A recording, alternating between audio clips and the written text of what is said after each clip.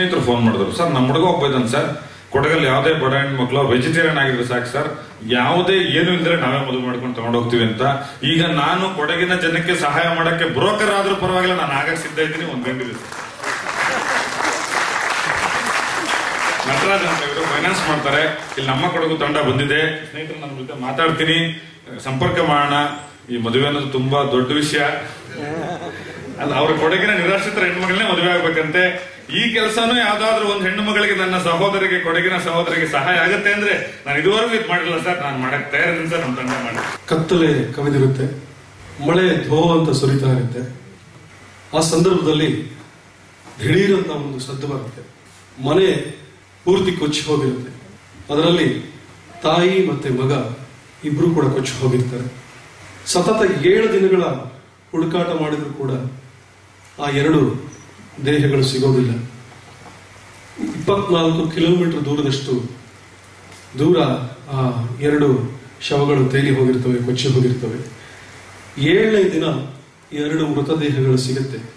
ತಾಯಿ ಮತ್ತು ಮಗ ಯಾವ ಸ್ಥಿತಿಯಲ್ಲಿ ಅಂದ್ರೆ ಒಂದರ ಕೈ ಒಂದನ್ನ ಹಿಡ್ಕೊಂಡು ಆ ಕುಟುಂಬದ ಸದಸ್ಯರು ಇವತ್ತು ಇಲ್ಲಿಗೆ ಪೀಪಲ್ ಫಾರ್ ಪೀಪಲ್ ತಂಡದ ಜೊತೆ ಮತ್ತೆ ನಿಮ್ಮೆಲ್ಲರ ಜೊತೆ ಅವರ ಎರಡು ಮಾತುಗಳನ್ನ, ಅನಿಸಿಕೆಗಳನ್ನ ಅವರಿಗಾದಂಥ ನೋವುಗಳನ್ನು ನಿಮ್ಮ ಎದುರುಗಡೆ ತೋಡ್ಕೊಳ್ಳಿದ್ದಾರೆ ದಯವಿಟ್ಟು ಬನ್ನಿ.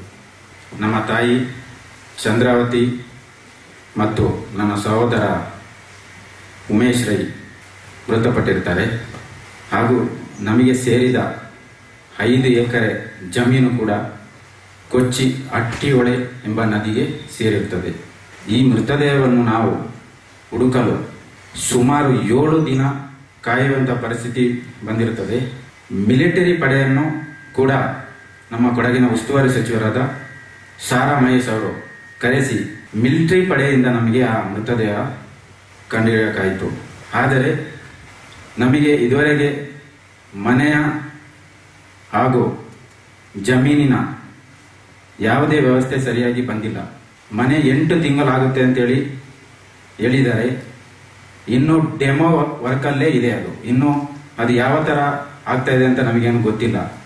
ವಿಕೋಪದಿಂದ ಆಗಿರುವಂತಹ ಆರೋಗ್ಯ ಸಮಸ್ಯೆಗಳಲ್ಲಿ ಹಲವಾರಿದ್ರೆ ಕೆಲವರಿಗೆ ಕಿವಿ ದೋಷ ಉಂಟಾಗಿರ್ಬೋದು, ಸೋಂಕು ತಗಲಿ, ಹಾಗೂ ಹಲವಾರು ಮಕ್ಕಳು ನಿರಾಶ್ರಿತರಾಗಿ ವಾಕ್ ಶ್ರವಣ ದೋಷವುಳ್ಳ ಮಕ್ಕಳು ನಿರಾಶ್ರಿತರಾಗಿ ಬೇರೆ ಬೇರೆ ಕಡೆ ಸ್ಥಳಾಂತರಗೊಳ್ಳಬೇಕು ಆಗಿರ್ಬೋದು ಅವರಿಗೆ ಡಾಕ್ಟರ್ ಎಸ್ ಆರ್ ಚಂದ್ರಶೇಖರ್ ಸಂಸ್ಥೆ ಪರವಾಗಿ ಅವ್ರ ಪರವಾಗಿ ನಾನು ಹೇಳ್ತಾ ಇದ್ದೀನಿ. ಅವರನ್ನು ನಾನು ಒಪ್ಪಿಸಿ ಒಪ್ಪಿಸಿ ಅವ್ರಿಗೆ ಏನು ಖರ್ಚು ಬರುತ್ತೆ ಅದನ್ನು ನಾನು ನೋಡ್ಕೊಡ್ತೀನಿ ಮುಂದೆ ಒದಗಬಹುದಾದಂಥ ಹಲವಾರು ವಿಕೋಪಗಳಿಗೆ ಈ ತಂಡ ಒಂದು ಬೆನ್ನೆಲುಬಾಗಿ ನಿಲ್ಬೋದು. ಆ ವ್ಯವಸ್ಥೆಯನ್ನ ಇವ್ರು ಮಾಡಲಿ.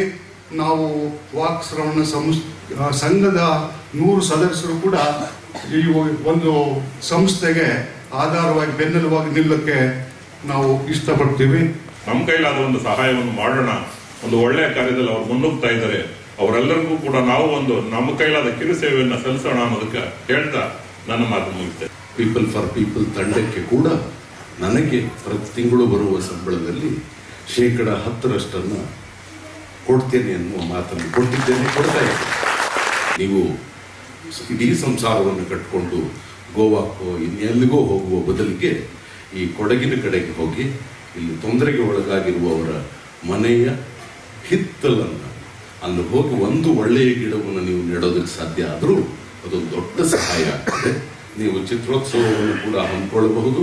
ಅದಕ್ಕೆ ಬೇಕಾದ ಚಿತ್ರಗಳನ್ನು ಒದಗಿಸ್ ಒದಗಿಸುವ ಶಕ್ತಿ ಸುಚಿತ್ರ ಫಿಲ್ಮ್ ಸೊಸೈಟಿ ಅಧ್ಯಕ್ಷ ಆಗಿರೋದರಿಂದ ನನಗೆ ಇರೋದರಿಂದ ನಿಮಗೆ ಸಿನಿಮಾಗಳನ್ನು ಒದಗಿಸ್ಕೊಡ್ತೇನೆ.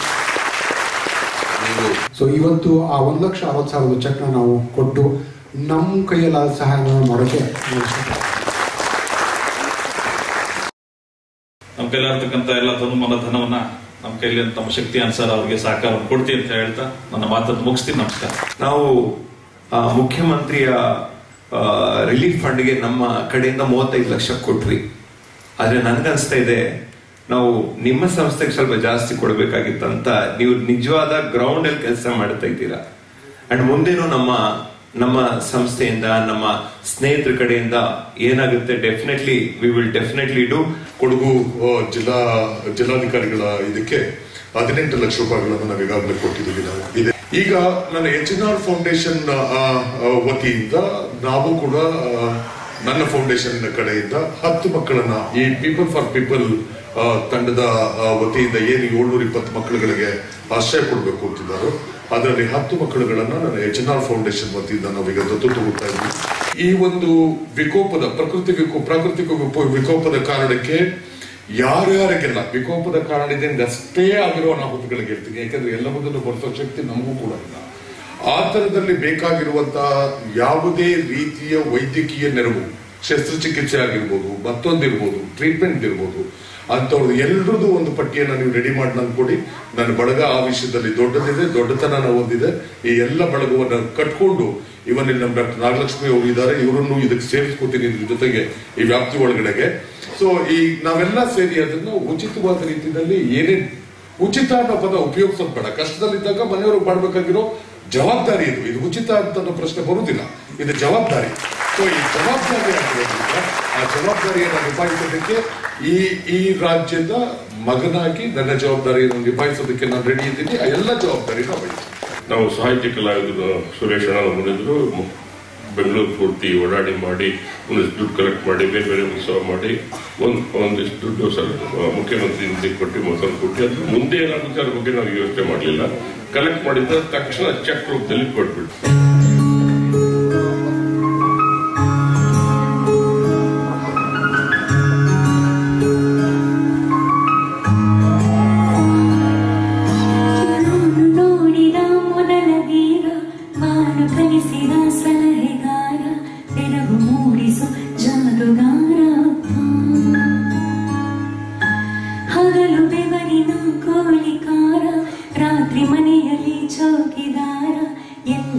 साहुकम् रात्वा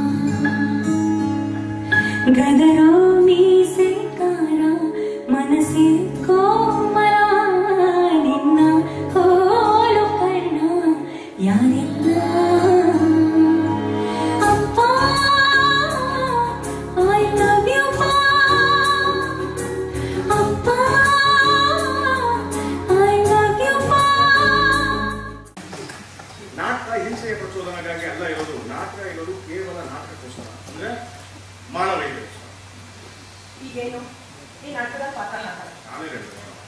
ಅದನ್ನು ವೃತ್ತಿನ ಮಾಡಲೇಬೇಕಲ್ಲ ನೋಡು, ಈ ರೀತಿ ಪ್ರಯೋಗಗಳು ಒಂದು ರೀತಿ ಸತ್ತಿನ ಹುಡುಕಾಟನೆ ಈ ಡೌಟ್ ಏನೇ ಇದ್ರು ಡೈರೆಕ್ಟ್ ಅಂತ ಕೂತು ಚರ್ಚೆ ಮಾಡಿ ಬಗೆಹರಿಸ್ಕೋ ಯಾವುದೇ ಪಾತ್ರ ಸಿಕ್ಕಿದ್ರು ಅದಕ್ಕೆ ನ್ಯಾಯ ಒದಗಿಸೋದು ಕಲಾವಿದರು ಅದು ನಮ್ಮ ಕರ್ತವ್ಯ ಇವತ್ತು ನಾ ಹೇಳ್ಸ್ಕೊಡ್ತೀನಿ ಹಲೋ ಇದು ನನ್ನ ಧರ್ಮಸಂಘ ಅರ್ಥ ಆಗ್ತಿಲ್ಲ ಏನಪ್ಪ ಅದು ನಿನ್ನ ಧರ್ಮ ಸಂಘ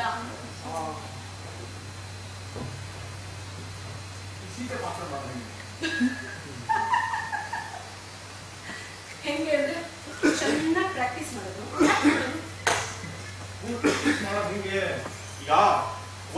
ದಿನನಿತ್ಯದಲ್ಲಿ ಅನುಭವಿಸುವ ನೋವು ನನಗೆ ಸುಖ ದುಃಖ ಲಾಭ ನಷ್ಟ ಇವೆಲ್ಲ ನನಗೆ ಯಾವುದು ಗೊತ್ತೇ ಇಲ್ವಲ್ಲ? ಯಾಕೆ ಗೊತ್ತಿಲ್ಲ? ದೊಡ್ಡ ಸ್ತ್ರೀವಾದಿ ಅಂತ ಇಷ್ಟೆಲ್ಲ ಹಣೆ ಪಟ್ಟಿ ಇಟ್ಕೊಂಡು ಅಷ್ಟೆಲ್ಲ ಭಾಷಣ ಮಾಡ್ತಿರ್ತೀಯ? ಅವೆಲ್ಲ ಭಾಷಣ. ಕೇವಲ ಮಾತು.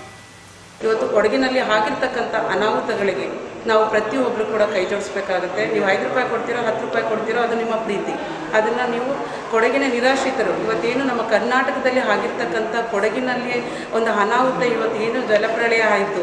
ಆ ಜಲಪ್ರಳಯದಲ್ಲಿ ನೊಂದಂಥವ್ರು ಸಾಕಷ್ಟು ಜನ ಇದ್ದಾರೆ. ಅಂಥವ್ರಿಗೆ ಸಹಕಾರ ಸ್ಫೂರ್ತಿ ಆಗಬೇಕು. ನಮ್ಮ ಜನತೆ ಅದಕ್ಕೆ ಪ್ರತಿಯೊಬ್ಬರು ಸ್ಫೂರ್ತಿಯಾಗಿ ಅವರಿಗೆ ಸಹಕರಿಸಬೇಕು ಅನ್ನೋದೇ ನಮ್ಮೆಲ್ಲರ ಆಸೆ ಕೂಡ ಆಗಿದೆ. ಹಾಗೆ ಪ್ರತಿಯೊಬ್ಬರು ಕೂಡ ಎಲ್ಲೇ ಆಗಿದ್ದರೂ ಕೂಡ ಒಂದು ಕಾರ್ಯಕ್ರಮಗಳನ್ನ ಕೊಡುಗೆಗೆ ಸಂಬಂಧಪಟ್ಟಿದ್ದು ಯಾವುದೇ ಕಾರ್ಯಕ್ರಮ ಇದ್ದರೂ ಕೂಡ ಪ್ರತಿಯೊಬ್ಬರು ಕೂಡ ಅಲ್ಲಿ ಹೋಗಿ ಆ ಒಂದು ಕಾರ್ಯಕ್ರಮವನ್ನು ವೀಕ್ಷಣೆ ಮಾಡಿ, ನಂತರ ನೀವು ಕೊಡ್ತಕ್ಕಂಥ ಹಣವನ್ನು ಅಲ್ಲಿ ನಿರಾಶ್ರಿತರಿಗೆ ಅನುಕೂಲ ಆಗೋ ರೀತಿಯಲ್ಲಿ ಸಪೋರ್ಟ್ ಮಾಡಿ ಅಂತ ನಮ್ಮ ಎಲ್ಲ ಕರ್ನಾಟಕದ ಜನತೆಯಲ್ಲಿ ನಾನು ಕೇಳ್ಕೊಳ್ತೇನೆ. ಕೊಡುಗೆಗಾಗಿ ಸಪ್ ರಂಗ ಸಪ್ತಾಹ ಅನ್ನೋ ಒಂದು ಈ ಕಾರ್ಯಕ್ರಮವನ್ನು ಪೀಪಲ್ ಬಾರ್ ದಿ ಪೀಪಲ್ ಅನ್ನೋ ಒಂದು ಸಂಸ್ಥೆ, ಅಂದರೆ ಸರ್ಕಾರೇತರ ಸಂಸ್ಥೆ ಒಂದು ಈ ಒಂದು ಕಾರ್ಯಕ್ರಮನ ಆಯೋಜನೆ ಮಾಡಿದೆ. ಇದರ ಉದ್ದೇಶ ಏನಪ್ಪ ಅಂತ ಹೇಳಿದ್ರೆ, ಕೊಡಗಿನಲ್ಲಿ ಯಾರು ನೆರೆ ಸಂತ್ರಸ್ತರಾಗಿ ಅಲ್ಲಿ ಸಮಸ್ಯೆಗೆ ಸಿಲ್ಕೊಂಡಿದ್ರು, ಅವ್ರುಗಳಿಗೆ ಯಾವುದಾದ್ರೂ ಒಂದು ರೂಪದಲ್ಲಿ ನಾವು ಸಹಾಯ ಮಾಡಬೇಕು ಅನ್ನೋ ಒಂದು ನಿಟ್ಟಿನಲ್ಲಿ ಈ ಒಂದು ಕಾರ್ಯಕ್ರಮನ ಆಯೋಜನೆ ಮಾಡಿ, ಇಲ್ಲಿ ನಮ್ಮ ಕಡುಬು ತಂಡಕ್ಕೂ ಕೂಡ ಒಂದು ಕರೆ ಕೊಟ್ಟು ಸೊ ಅವರು ಕೂಡ ಇಲ್ಲಿ ಒಂದು ಕೆಲವಾರು ವಸ್ತುಗಳು ಕೊಡಗಿನ ವಿಶೇಷವಾದಂತಹ ಏಲಕ್ಕಿ ಆಗಿರ್ಬೋದು, ಮತ್ತು ಈ ಕ ಕರಿಮೆಣಸುಗಳು ಲವಂಗ, ಇನ್ನೊಂದು ಮತ್ತೊಂದು ಎಲ್ಲ ಥರದ ಒಂದು ವಸ್ತುಗಳ ತಂದು ಇಲ್ಲಿ ಇವರು ಸೇಲ್ಗಳಿಗೆ ಹಾಕ್ಕೊಂಡಿದ್ದಾರೆ ಸೊ ಇದರಿಂದ ಆದರೂ ಬರೋಂಥ ಲಾಭಾಂಶಗಳನ್ನ ತಗೊಂಡೋಗಿ, ಅಲ್ಲಿ ಕಷ್ಟದಲ್ಲಿ ಯಾರಿದ್ದಾರೋ ಅವ್ರಿಗೆ ನಾವು ಸಹಾಯ ಮಾಡೋಣ ಒಂದು ನಿಟ್ಟಿನಲ್ಲಿ ಒಂದು ಒಳ್ಳೆಯ ಕೆಲಸನ ಮಾಡ್ತಾ ಇದ್ದಾರೆ.